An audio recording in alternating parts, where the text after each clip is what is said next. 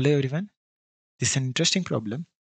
Dear students, I chose this problem because this problem involves few ideas which you may not be aware of or it may not be so obvious also. So let me just go through this problem and I hope definitely it will solve your problems. Okay.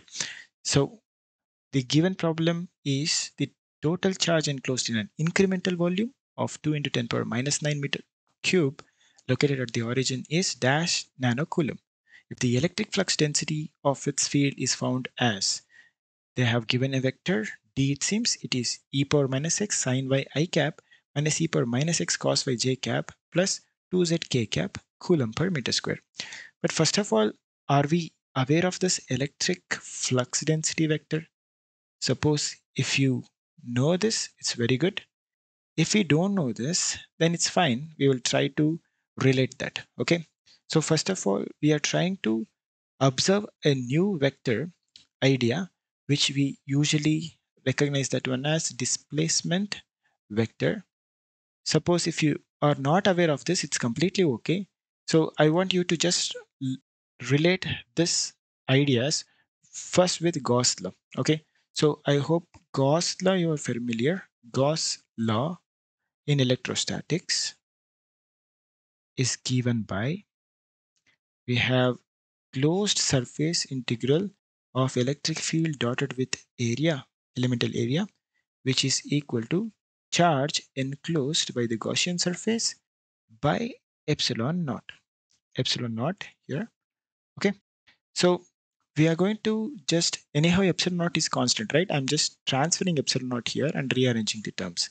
We can write epsilon naught here, just E dotted with the ds which in turn equal to q enclosed. I'm just writing q. We know that this is q enclosed. Let me write this as equation 1. So I'm using this epsilon naught e as a new vector, which I'm naming it as d. You might be thinking like how it is possible for quick relation. Okay, so let me give you the SI unit. SI unit units of electric field, it is Newton per coulomb. And SI unit of epsilon naught would be, we, I hope you remember like Coulomb's law. And the relation goes like this, Coulomb squared per Newton per meter square, right? That is epsilon naught SI units. Suppose if we multiply epsilon naught and E, you can easily observe that it turns out to be Coulomb per meter square, right? So you can easily check out this. So just this is just to convince you like we are introducing a new vector called d which is just epsilon naught times of e. Okay. Now meaning what I'm going to write in place of epsilon naught e the new letter d here and ds the surface integral of this surface integral closed surface integral would be equal to q. So this is our equation 2 and this idea is very very important once we know this, some mathematical ideas here. Dear students, there is an information in mathematics that whenever we have a vector, let's say f is any vector, which is having closed surface integral, okay, closed surface integral, which can be written as the divergence of that particular vector and volume integral of that vector divergence of volume integral. Okay, so where do we have this theorem and all? It is recognized as Gauss divergence theorem. Gauss divergence theorem. This is something which you will learn in mathematics. Okay, now if we use these ideas, it becomes easy to solve this problem. So first of all, you should know what is this operator. We say it is del operator. Okay, so it is given by I times dou by dou x where dou by dou x is a partial derivative. I hope you're all familiar with these ideas. Even if you don't know, it's okay. I will anyhow discuss here. So j cap times dou by dou y and k cap times dou by dou z. This is the operator. Now, if we use our equation 2 here, I have to write divergence. Let me write divergence. Just vector d first, d dotted with ds closed surface integral equals q correct dear students here I'm going to write the uh, charge Q as integration of rho is charge density times the small volume. See here, if we take rho as volume charge density, volume charge density, then if I take rho times dV is a small charge, right?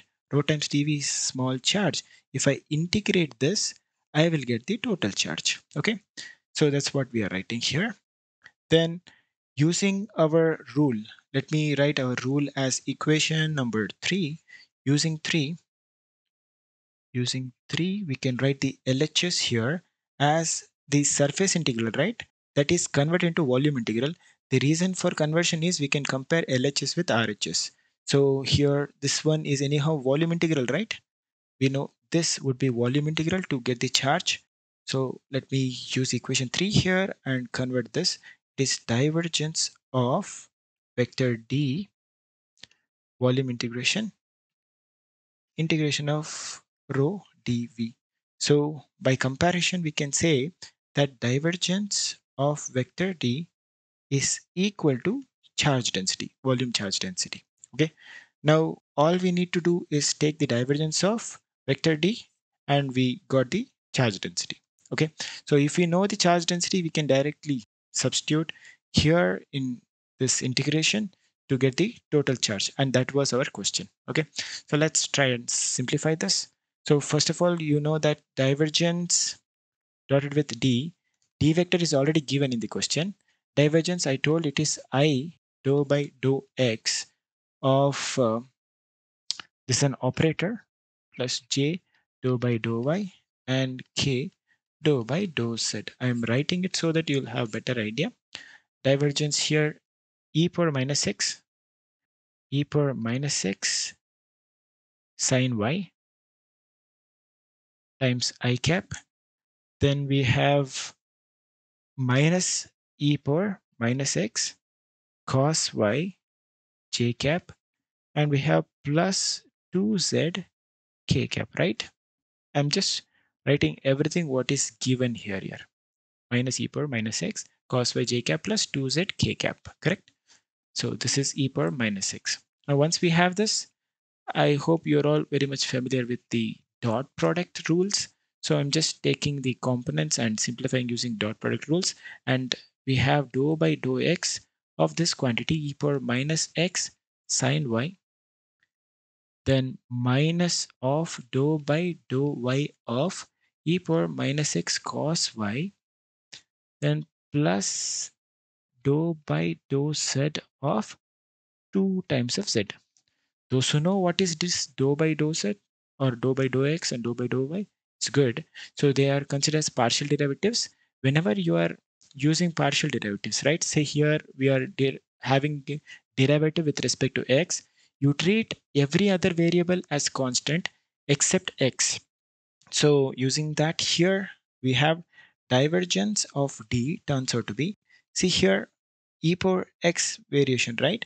So sine y is treated constant because y is constant with respect to x. Okay, so this kind of uh, recognizing y as constant, we name it as partial derivatives. Okay, so I'm taking sine y outside. So e power minus x differentiation is e power minus x times minus 1. Then we have minus as it is. Now we are di having differentiation with respect to y. So x should be constant. So I'll be taking e power minus x as it is. Differentiation of cos y is minus of sine y. Then plus here 2 as it is because it's anyhow constant. Differentiation of z with respect to z is 1. So this is what we have. So then divergence of d turns out to be. Here it is uh, minus of e power minus x sine y and positive e power minus x sine y plus 2 okay? So anyhow if we just look at these terms these are canceling each other right? So we can write divergence is 2 suppose if we recognize this one from equation uh let's give some number for this this is equation 4 let's say using 4 this is rho using equation 4 we can recognize this one as rho so the since we are employing only SI units, we know that this will be like coulomb per meter cube. This will be in coulomb per meter cube. So then we have charge given as rho times of dV is integration of 2 times of dV, right? So 2 is anyhow constant. It is coulomb per meter cube. So I'm going to take it outside. So integration of dV. So 2 as it is integration of dV is nothing but volume given. So given volume in this problem is 2 into 10 power minus 9. So it turns out to be 4 into 10 power minus 9 coulomb. So in our question, we have to write the answer as 4 here in this space, correct? So I hope you understood this problem. If you have any doubts, please feel free to post that in the comment section. Thank you, everyone.